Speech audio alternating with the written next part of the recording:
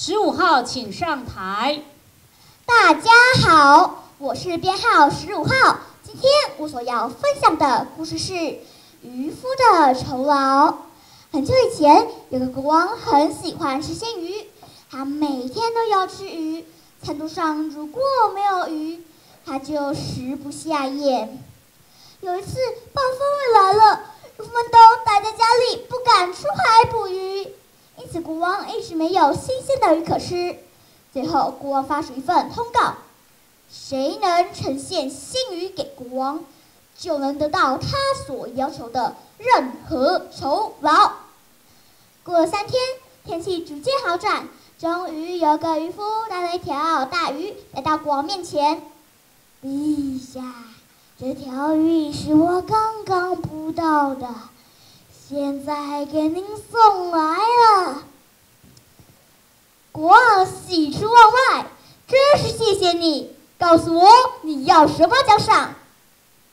渔夫沉默了片刻，然后他提出一个出人意表的要求：“请鞭打我三十鞭吧！”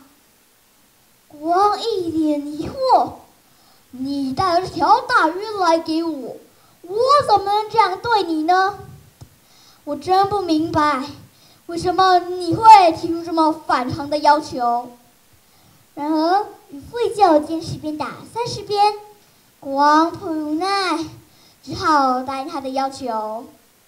就在士准备鞭打渔夫的时候，渔夫突然叫起来：“陛下，请等等，请等等，在我挨打之前。”请把宫外看门的守卫叫进来，因为我只能，另外的数遍是他的。国王更惊奇地问：“为什么？”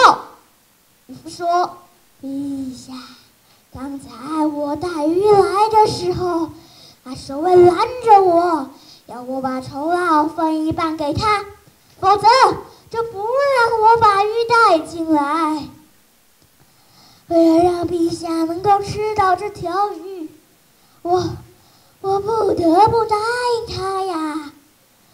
国王听了恍然大悟，原来如此，你真是聪明又勇敢呐。接着又说，那个守卫真是太令我失望了，就他所求，带他出兵吧。之后，国王便将这个守卫赶出皇宫。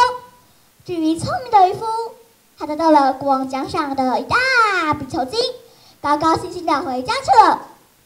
生活中总是会遇到困难与挫折，但如果能够积极面对，并冷静的运用智慧解决问题，相信所有难题都会迎刃而解。我的分享到此结束，谢谢大家。时间三分零九秒。